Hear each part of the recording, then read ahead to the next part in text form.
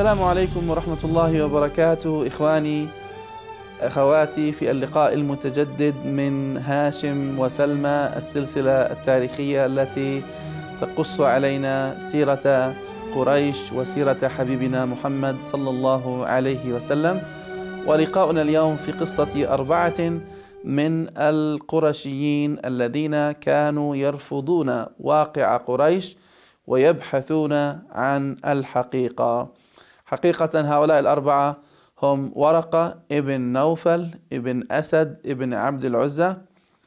الثاني هو عبيد الله ابن جحش. الثالث عثمان ابن الحويرث. والرابع زيد ابن عمرو ابن نفيل. بحثهم في الأديان وبحثهم عن الحقيقة في ظل رفضهم لواقع قريش.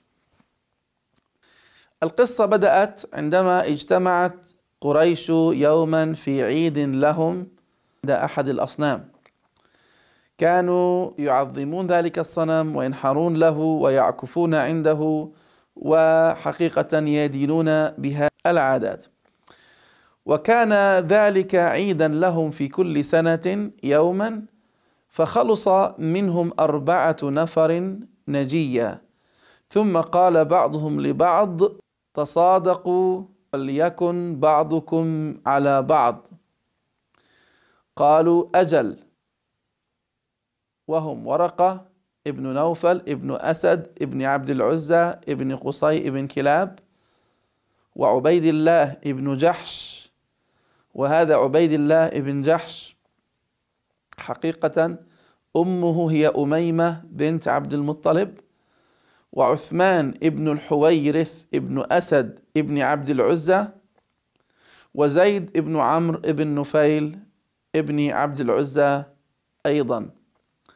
هؤلاء الأربعة إخواني قال بعضهم لبعض تعلمون والله ما قومكم على شيء لقد أخطأوا دين أبيهم إبراهيم. فما هذا الحجر الذي نطوف به؟ لا يسمع ولا يبصر. ولا يقدر أن يضر ولا يقدر أن ينفع. يتكلم عن الأصنام. يا قوم التمسوا لأنفسكم دينا فإنكم والله ما أنتم على شيء. فتفرقوا في البلدان كل يلتمس الحنيفية دين إبراهيم عليه الصلاة والسلام. دعونا نبحث اليوم إخواني ما الذي توصل إليه كل واحد من هؤلاء الأربعة؟ نبدأ بورقة ابن. أما ورقة ابن نوفل فاستحكم في النصرانية واتبع الكتب من أهلها حتى علم علما من أهل الكتاب. أما عبيد الله ابن جحش فأقام على ما هو عليه من الالتباس حتى أسلم ثم هاجر مع المسلمين إلى الحبشة. ومعه زوجته أم حبيبة بنت أبي سفيان مسلمة. فلما قدما إلى الحبشة تنصر وفارق الإسلام حتى هلك ومات على نصرانية. ورد أن هذا ابن جحش كان يستهزئ بعد أن تنصر يستهزئ بالصحابة في الحبشة ويقول لهم أنا أبصرت ولم تبصروا وبقيتم عميان إلى آخر هذا الكلام من الاستهزاء. ابن إسحاق وقد خلف النبي صلى الله عليه وسلم بعده على امرأته أم حبيبة بنت أبي سفيان ابن حرب. قال وحدثني يروي طبعا الرواية أن النبي صلى الله عليه وسلم بعث فيها إلى النجاشي عمرو بن أمية الضمري فخطبها إليه من النجاشي فزوجه إياها وأصدقها النبي صلى الله عليه وسلم أربعمائة دينار. أما ابن الحويرث فقد تنصر وذهب إلى قيصر الروم. أما زيد بن عمرو بن نفيل فوقف فلم يدخل في يهودية ولا نصرانية مع أنه كان يعلم هذا هاتين الديانتين. وفارق قومه فاعتزل الأوثان والميت والدم والذبائح التي تذبح على الأوثان. نهى عن قتل البنات وأد البنات وقال أعبد رب إبراهيم وباد قومه يعيب عليهم ما هم عليه. كان يدعو ويعيب على قومه ما كانوا عليه من الشرك.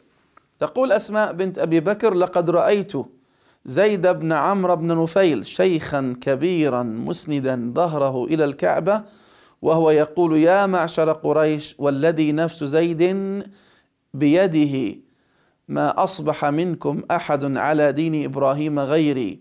ثم يقول اللهم لو أني أعلم أي الوجوه أحب إليك عبدتك به ولكني لا أعلمه. ثم كان يسجد على راحته. رواية عن سعيد ابن زيد ابن عمرو ابن نفيل وعمر ابن الخطاب وهو ابن عمه قال لرسول الله صلى الله عليه وسلم أتستغفر لزيد بن عمرو؟ قال نعم فإنه يبعث يوم القيامة أمة وحده. إلى هنا نقف إن شاء الله وإلى لقاء آخر في لقاء متجدد من هاشم وسلمى وموضوعنا في الحلقة القادمة صفة النبي صلى الله عليه وسلم في الكتب السابقة.